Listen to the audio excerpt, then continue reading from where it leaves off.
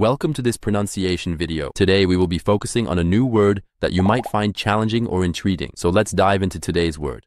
Abattez, which means Abattis is French for cut down or fell, referring to trees. let's say it all together. Abattez. Abattez. Abattez. One more time. Abattez. Abattez.